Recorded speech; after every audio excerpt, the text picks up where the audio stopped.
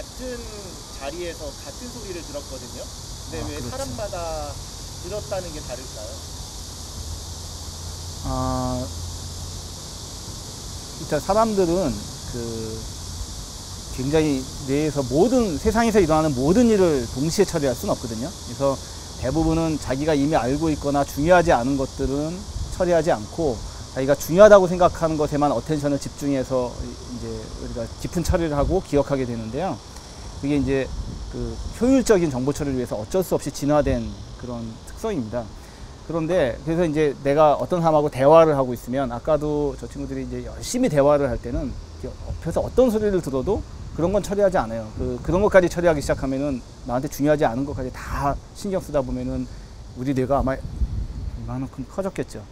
그래서 중요한 것들만 이제 처리하게 되고 나머지는 다 무시하게 되는데 자기한테 중요한 것들, 자기가 관심 있는 것들, 자기가 정말 좋아하는 것들, 자기가 이미 경험을 통해서 알고 어느 정도는 알고 있는 것들 이런 것들을 우리가 더 잘 그러니까 내가 어디 다른 데다 attention을 두고 있더라도 그런 것에 더 관심을 갖게 되고 또 기억을 더 잘하게 됩니다. 그러니까 아까 그 네 명의 사람들 또는 그 이전의 사람들도 마찬가지로 똑같은 장소에서 똑같은 데시벨로 똑같은 소리를 들었음에도 불구하고 자기가 뭐에 더 관심이 있느냐, 어, 과거에 어떤 것들을 경험해서 더 많이 알고 있느냐, 뭐 이런 것들에 따라서 전혀 기억하는 내용이 달라지고 아마 그 attention 하는 그러니까 자기가 주의 집중해야 한 것도 거기서부터 이미 달라질 겁니다.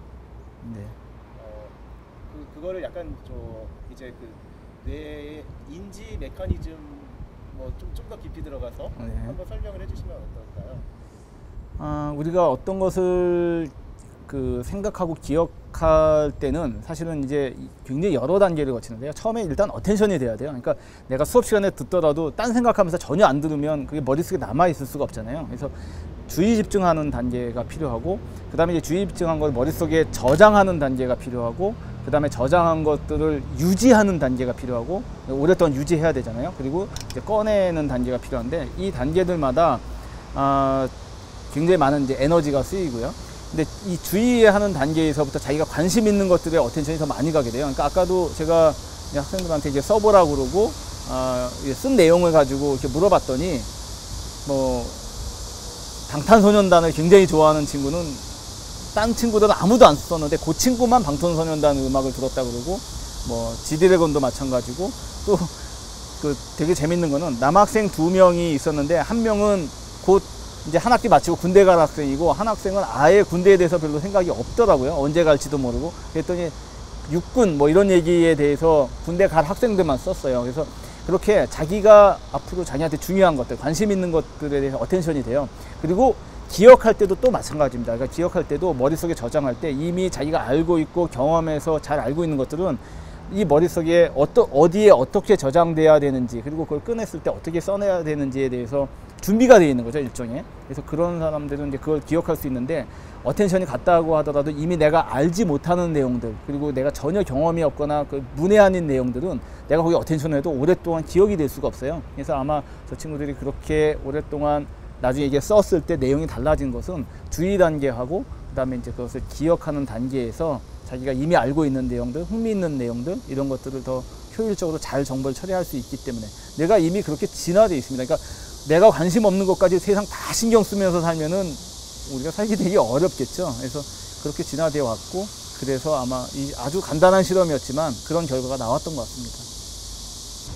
그러니까 여기서 우리가 알 수 있는 것은 그 똑같은 시간을 투자해서 그러니까 우리가 뭐라 그러지 학습이나 교육 현장의 예를 들면요 똑같은 시간을 투자해서 내가 어떤 것을 듣거나 또는 뭐 책을 보거나 또 TV 화면을 보거나 요즘은 이제 그 학습 현장에서도 동영상으로 많이 사용하는데요 똑같은 걸 보더라도 아, 그 효율이 다를 수 있어요 그러니까 그 내용에 대해서 원래부터 관심이 있거나 또는 과거에 그것과 관련된 경험을 해서 내가 거기에 대해서 이미 사전에 조금이라도 경험적인 지식이 있거나 하면 그거 훨씬 더 효율적인 거죠. 그러니까 거의 노력하지 않아도 다른 사람들은 뭐 굉장히 열심히 노력했는데 뭐 시험 못 보고 이런 경우 있잖아요. 그래서 그렇게 이미 알고 있거나 내가 관심이 있거나 이렇게 이런 경우에 훨씬 더 아, 기억도 잘하고 그다음에 그것이 아마 오래 유지될 거예요. 저 친구도 아마 그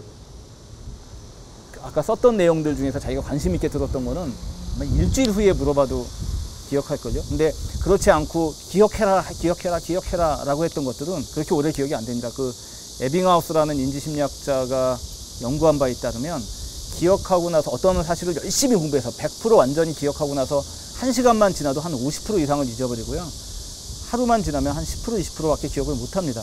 그런데 내가 관심을 갖고 있었던 거나 자기가 이미 알고 이미 그 사전에 그쪽에 대한 경험이 있어서 잘 알고 있는 지식들은 굉장히 적은 노력을 기울여서 오래 유지할 수 있어요. 그래서 그런 것들을 보면 우리가 뭐 교육 현장의 예를 이제 저는 대학에 있으니까 예를 들자면 학생들한테 무조건 그냥 책을 보고 외워라 외워라 외워라 하는 것보다는 그것과 관련된 어떤 경험이라든지 이런 것 관심을 유도하는 거라든지 이런 동기부여 또는 관심 그리고 그것과 관련된 경험 이런 것들이 굉장히 어, 굉장히 그 여러 효율적이고 그다음에 오래 기억할 수 있는 거죠. 네, 그런 점에서 시사하는 바가 좀 있는 것 같아요. 음.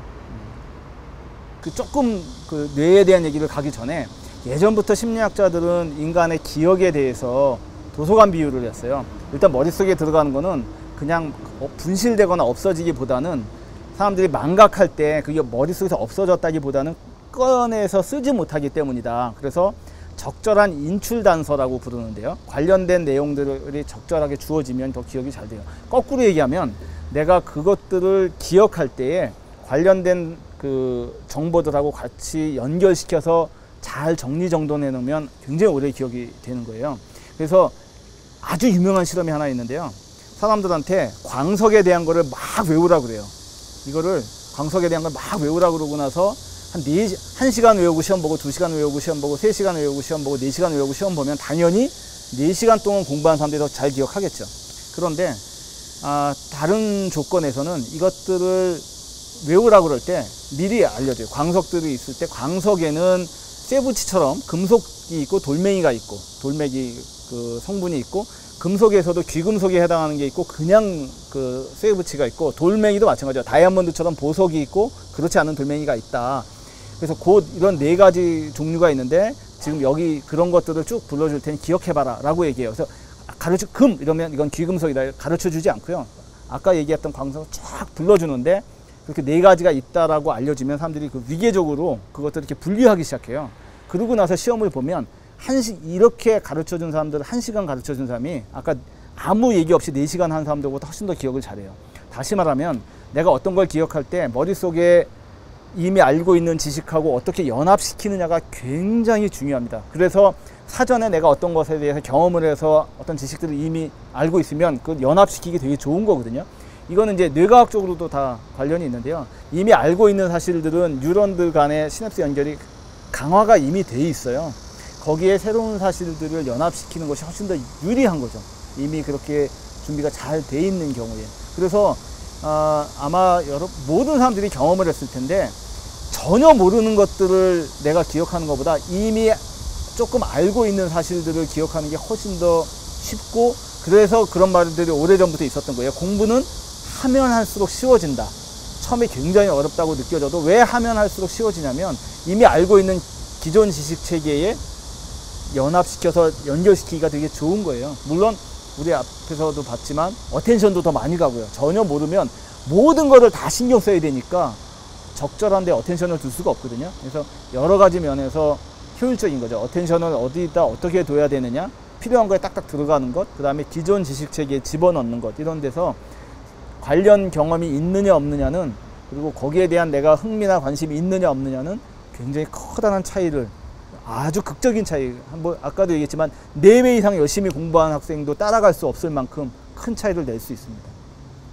뇌에서 뉴런이 새로운 신경세포가 만들어지냐 아니냐는 논쟁의 거리가 있지만 거의 그 저 이런 피질, 겉질, 코르텍스의 뉴런들은 거의 안 만들어지고요. 중추신경계의 뉴런들은 아직까지는 그러니까 드문 경우는 있지만 거의 안 만들어지고 지식들은 이미 기존에 있는 뉴런들 간의 연결을 시키는 거예요. 연결 강도 변화, 시냅스의 연결 강도 변화인데 그것들이 이미 관련된 지식으로 시냅스가 연결이 잘 돼 있는 사람들은 새로운 연결을 시키기가 이미 유리한 거예요. 그러니까 뉴런이 새로 만들어지는 게 아니고요. 기존에 있는 지식들을 연결시키는 건데 이게 이제 헤비한 룰이라고 해서 뉴런들은 서로 활성화가 잘 되면 둘 간의 연결이 강화가 돼요. 그러니까 내가 이미 연결이 강하게 돼 있는 지식 체계가 있으면 새로운 연결이 필요할 때에 얘네들하고 연결을 시냅스 연결 강화가 유리한 측면이 있어요. 그래서 뉴런이 새로 만들어지는 건 아니고 내가 어떤 것들을 기억하는 것은 뉴런의 시냅스 연결 강도가 변화되는 과정인데 이미 머릿속에 지식들이 관련된 것들이 잘 있다면 그 시냅스가 연결되는 게 굉장히 유리하죠. 보통 뉴런 하나가 다른 뉴런 한 천 개랑 연결이 돼 있거든요. 그래서 이미 연결돼 있는데 이미 어떤 건 강하고 어떤 건 약하고 막 이럴 때 내가 새로운 지식들이나 이런 거 이런 것이 전혀 모르는 거면 이쪽에 도로를 만들 수가 없는 거예요. 뇌는 일단 이렇게 생각하면 돼요. 근육하고 좀 비슷한 면이 있어요. 그러니까 쓰면 쓸수록 어, 발- 발달을 하거든요. 그러니까 뇌를 전혀 안 쓰는 것보다는 쓰면 쓸수록 발달을 하는데 어, 뇌를 쓰는 게 내가 공부를 열심히 하는 것도 그렇지만 사실 뇌를 제일 많이 쓰는 게 뭐냐면요. 우리가 뇌가 어떻게 발달한 거냐면 외부 환경에서 어떤 자극을 받아들이고 거기에 중간에 여러 가지를 고려해서 적절한 반응을 하도록 진화된 거예요. 그래서 그렇게 뇌를 총체적으로 다 쓰게 하는데 제일 좋은 거는 사실은 운동입니다. 그러니까 사람들이 걷거나 뛰거나 뭐 어떤 운동을 하는 것은 거기에 맞는 감각 정보를 받아들이고 여러 가지 처리를 해서 그이 반응을 해야 돼요. 그래서 최근에는 예전에는 뭐 치매를 예방하기 위해서 고스톱을 쳐라 이랬는데 고스톱을 친다고 해서 치매가 예방되는 게 아니고 치매에 걸려도 고스톱은 칠 수는 있겠죠. 그러나 뇌의 전반적인 발달이라는 측면에서 보면 그 치매를 예방하는데 가장 좋은 거는 최근에 뇌과학자들의 뇌 공통적인 주장은 운동을 많이 하는 거예요. 걷는 거 이런 게 굉장히 좋습니다. 그게 왜 그러냐면 그때 뇌를 가장 많이 쓰게 돼요. 그래서 그런 실험도 있습니다. 가만히 앉아서 그 책상 앞에 앉아서 공부하는 것보다 밖에 돌아다니는 것이 더 기억이 잘 된다. 밖에서 공부하는 게 더 기억이 잘 된다. 이런 얘기도 있어요. 그러니까 뇌를 많이 쓰게 하는 게 되게 주- 중요하고요. 그런 점에서 보면 만약에 어떤 특정 분야에 대한 지식을 쌓고 싶다. 그러면 어, 책을 앉아서 보는 것도 물론 안 하는 것보단 낫겠지만 그 여러 가지 몸이 같이 느낄 수 있게 하는 게 좋아요. 그래서 아마 여러분도 그 뭐 그런 걸 느끼실 텐데요. 프랑스의 역사, 프랑스의 구- 뭐 국민 소득, 뭐 수- 인구수 이런 걸 그냥 그냥 책 보고 외우라 그러는 것보다 한 번 갔다 온 사람들이 훨씬 더 기억 잘 할 거예요. 거기서 우리가 거기서 느꼈던 뭐 예를 들면 중국에 사람 많다 이렇게 뭐 몇십억이다라고 해도 베이징이나 상하이 한 번 가보면 확 느껴지거든요. 그럼 그런 것들이 바로바로 기억이 되고요. 그렇게 되면 뭐 국민소득이나 이런 것도 외울 때도 훨씬 도움이 돼요. 그래서 그렇게 다양한 경험을 쌓는 것이 근데 어차피 이제 인간이라는 존재가 뭐 생명도 한계가 있고 시간적으로 제한이 있고 할 수 있는 게 한계가 있으니까 자기가 하고 싶은 분야가 뭐냐에 따라서 뭐 관련된 경험을 많이 하는 것이 그쪽에 전문가가 된다든지 전문 지식을 쌓는데 많은 도움이 되겠죠. 그런 점에서 보면 요즘 교육 방식이 옛날 교실 안에서만 있다가 현장으로 많이 가는 거는 되게 바람직한 것 같아요. 저 개인적으로 교육 전문가는 아니지만 뇌과학의 입장에서 보면